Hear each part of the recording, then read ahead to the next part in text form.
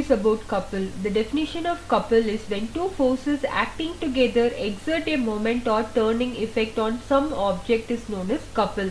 For example, suppose two strings are tied to a wheel at the point x and y and two equal and opposite forces F are exerted tangentially to the wheel. If the wheel is pivoted at its center O, it begins to rotate about O in an anti-clockwise direction.